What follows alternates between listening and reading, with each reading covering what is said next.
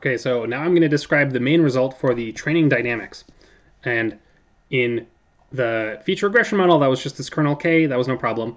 Uh, for a neural network, it turns out to be something slightly complicated called the neural tangent kernel, and it has a funny evolution rule. So that's what I'm going to write down now. I'm going to tell you what the neural tangent kernel is uh, and what the what it says. So this is theorem 21 in the notes.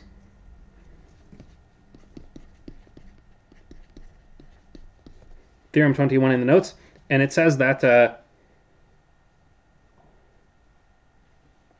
there is a kernel. For each layer L, there is a kernel theta L of xx prime.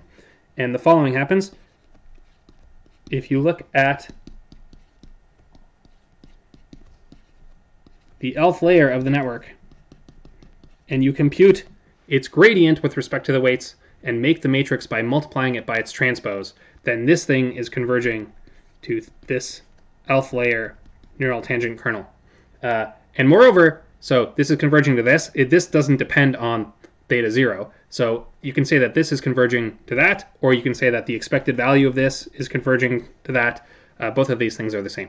So the relevant kernel that is driving the evolution is is this kernel theta L. And what do I mean by it drives the evolution? Uh, you can write down this kind of evolution equation, which is similar to what we had in the regression model.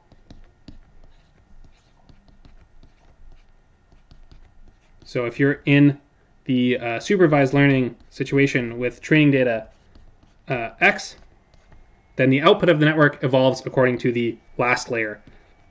So L plus one. So uh, what this means is that this, this kernel, theta, the neural tangent kernel, is going to control uh, the training dynamics of the network just as the kernel for the feature regression model controlled the training dynamics for that simple model. So you can exactly solve this. You can get, just like we did before, you can write down the exact solution. You can write down f of x theta infinity, uh, et cetera, et cetera. So anything you can do um, in the linear case, you can do it now using the neural tangent kernel. So I should tell you how the neural tangent kernel evolves now, so you can figure out a formula for it. And it's extremely similar to this formula for the NNGP kernel. And in fact, it depends on the NNGP kernel. So uh, in the NNGP kernel, you had to have these two variables, z and z prime, and you did some expected value of the nonlinearity. So to define the neural tangent kernel, you need this, and you need the same thing with the derivative of the nonlinearity. So how is the neural tangent kernel defined?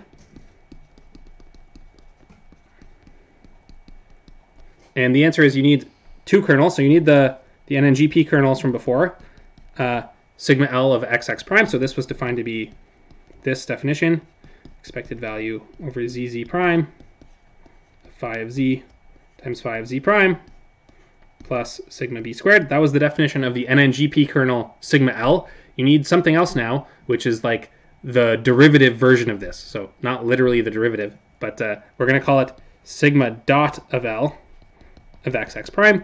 And that's the same thing, but instead of using phi, you use the derivative of phi. So sigma w squared expected value zz prime phi dot of z, phi dot of z prime. So, so it's the same thing with the derivatives.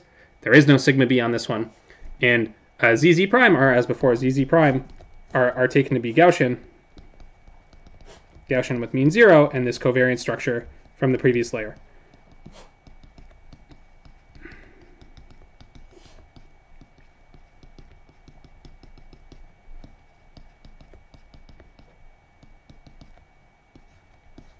Okay, so you have these matrices sigma L and sigma prime of uh, L, and they are they are the Gaussian, the NNGP kernel for the layer L.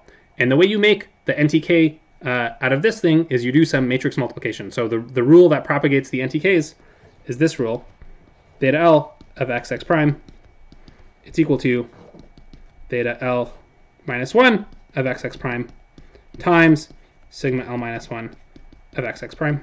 Okay, no, that's a lie. It's uh, sigma L times xx prime times the dot plus sigma L of xx prime.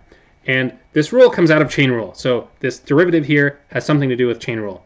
And you can see exactly how it works out in the proof. Uh, this is essentially what the result is. Uh, you have to be a little bit more careful than I'm being here in this presentation about what happens about the diagonals and multidimensional things. The exact version is in the notes, so you should check that out. But this is very roughly speaking uh, what the result is. And uh, yeah, those are the two major results. So so one thing is this NTK, which has this complicated story, and the other one is this NNGP, which tells you what happens on initialization. And if you combine these two um, results, you can figure out anything about the, the network uh, in this limit where the width gets very large.